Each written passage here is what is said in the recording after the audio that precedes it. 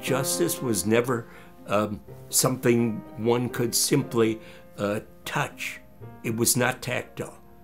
Justice involved taking a leap. Uh, it involved having a vision.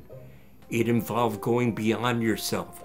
And that's what I think uh, is more important than anything else today, is that we take that leap into a sense of the uh, what the French philosopher calls l'autre, the others.